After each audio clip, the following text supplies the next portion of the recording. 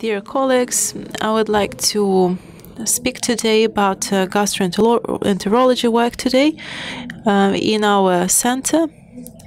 And um, I would like to briefly cover several aspects, and the work is very uh, immense.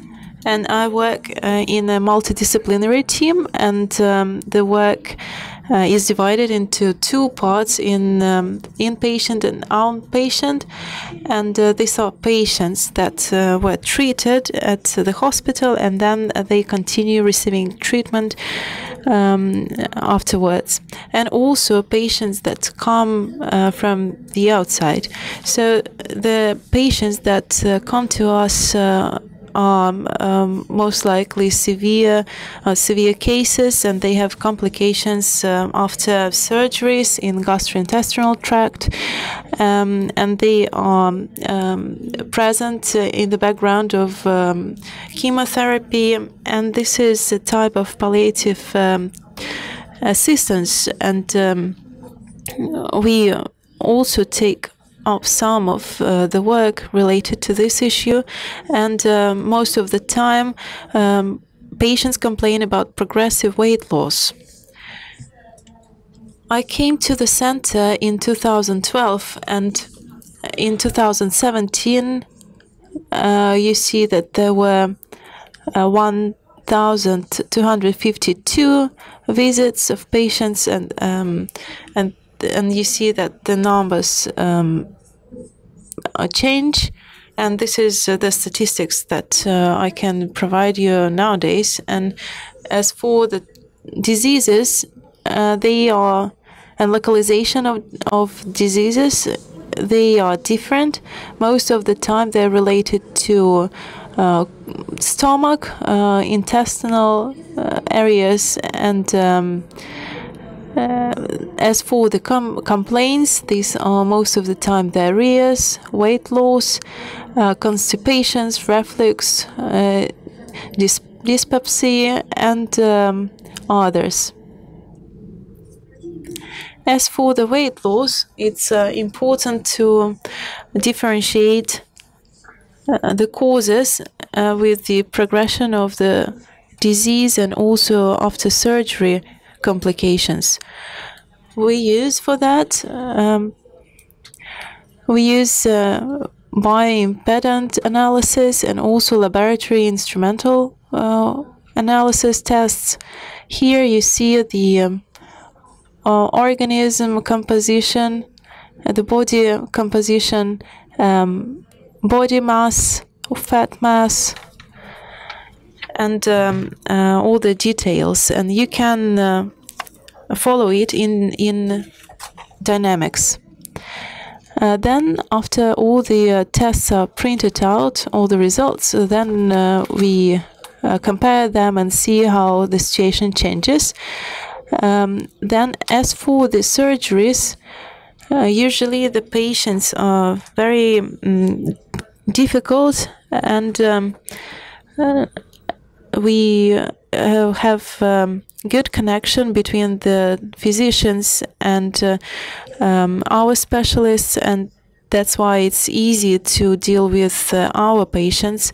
But as for the patients that come from the outside, from regions, it's uh, a little bit more difficult.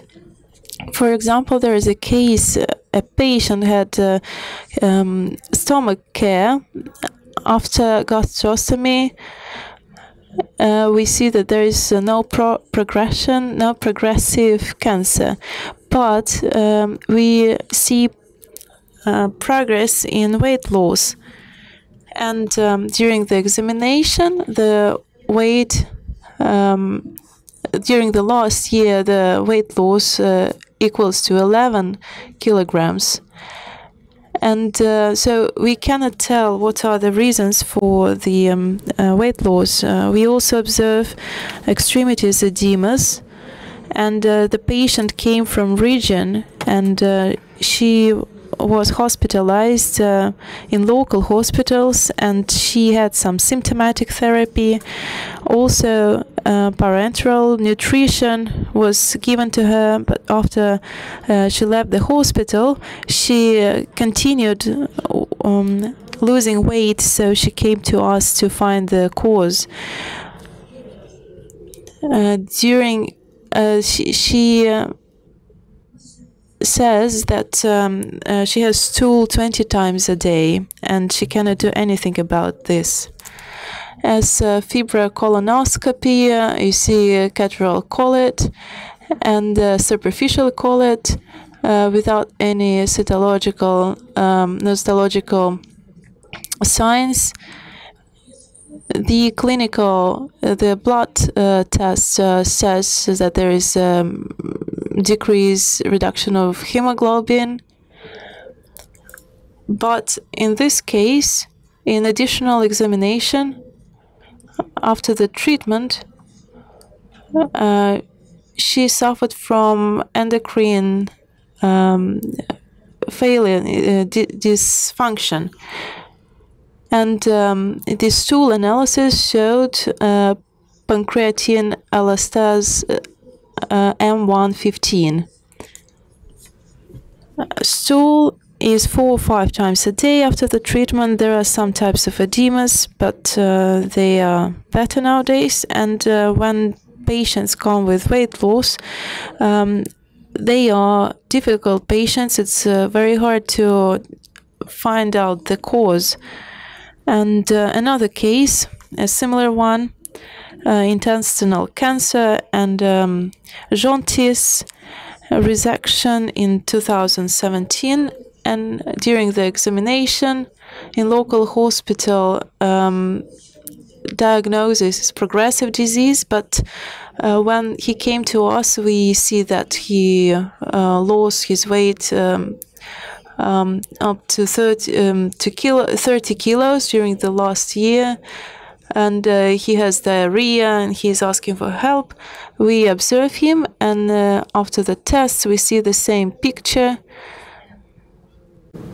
Uh, so here we see a green uh, deficiency because of the surgery. And yesterday I asked him um, whether his condition improved, and he said that uh, stool stabilized, so he's compensated. We do not observe progressive disease during the um, uh, final examination. So weight loss uh, is um, quite difficult issue and uh, we need to find the causes and uh, select treatment accordingly. Another uh, problem that patients uh, complain about different types of refluxes that uh, happen after various surgeries, stomach surgeries.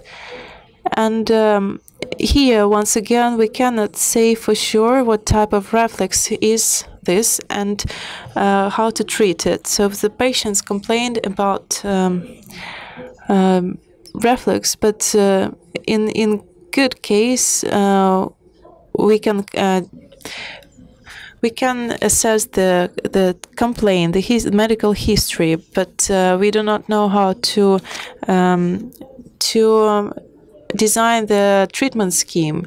So in this case, we can use uh, some methods. For example, pH uh, metria.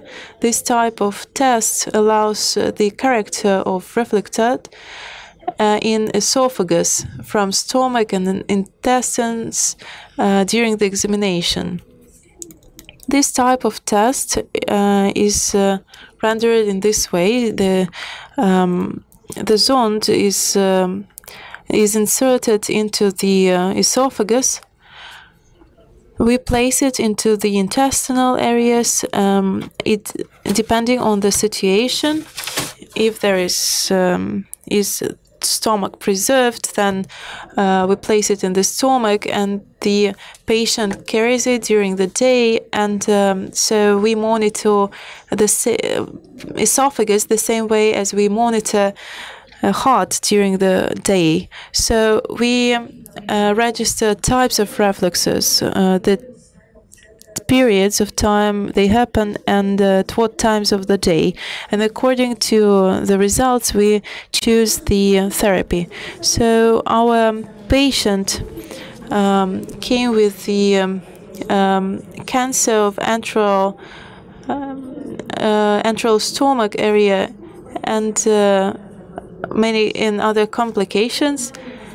During the um, examination, we found um, also uh, um, complaints about the um, uh, in, in stomach and uh, mouth. He took inhibitors during the past year with uh, short-term uh, positive results. Uh, and during the examination, we don't see any reflux disturbances, so we prescribe pH metria for the day refluxes have to be differentiated from uh, burnies, functional burnies, and uh, complaints that are not related to reflux in general. There can be some somatic uh, dysfunctions in stomach. And that's what the tests actually showed us during the day. As we saw, the um, patient had only short-term uh, refluxes after the um, food intake. Then the patient had a corrective therapy. Um, were prescribed to the patient before the um, uh, food intake. And then he went to a psychotherapist to uh, correct his functional uh, burnies. And then, together with uh, medicinal uh, drugs that were prescribed to him, he realized that uh, there were no uh, severe complication and the dynamics was positive. So uh, he, now he uh, is not complaining about burnies anymore. And um, we've talked about uh, the therapy that he has to go through. And in half a year, we're going to um, give another test uh, therefore, so we managed to make a, a clear diagnosis. After gastrectomy, a patient came to me uh, with the complaints that uh, during the past two years uh, she um, uh, is hospitalized uh, often hospitalized with aspirational pneumonia.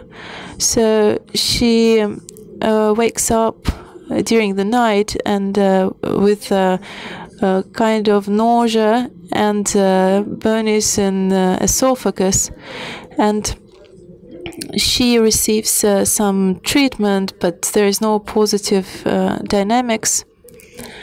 There are many uh, foci in uh, lungs, and this is uh, recessive superior lobe pneumonia. So after the examination, we do not see the any um, any um, disease, so it's uh, not prominent. So once again, we uh, provide this pH uh, metria and after that, we see that after the surgery, the patient uh, doesn't have any acid production, and uh, but she has very high refluxes that uh, uh reach proximal areas. So, especially during the night time, and it's important that the output is not strong but high so the therapy was corrected and uh, all the drugs were cancelled um, besides prokinetics. So we um, adjusted her diet and uh, her regime and uh, now she sleeps um, um with her body upward um, to 45 degrees, almost uh, sitting on the bed. I'm sorry so during the last year of, uh, and she came to me a year ago, so the number of refluxes uh, diminished up to three times a year, and um, now she doesn't need any kind of hospitalization. And uh, there are some type of refluxes; they persist, uh, but we uh, plan to repeat pH metria, but the dynamics is positive. Another method that uh, we actively use in our practice nowadays that allows us differentiate post-resectional symptoms uh, in terms of diarrhea, insufficiency in anal sphincter, and com uh, combined disorder. And uh, these are patients after surgeries in gynecology uh, and other type of patients. Sometimes a patient comes to our um, room and uh, complains about stool disorders.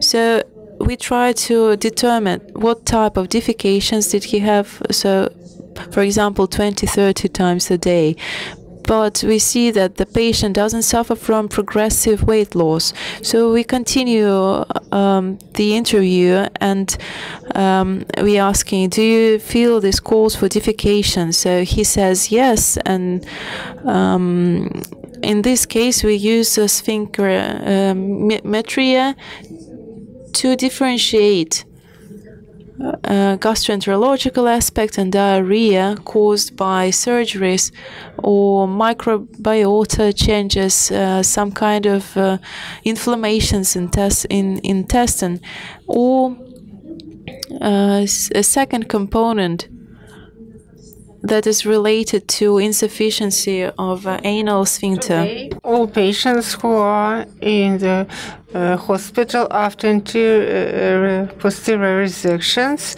so we do that sphincter uh, metry.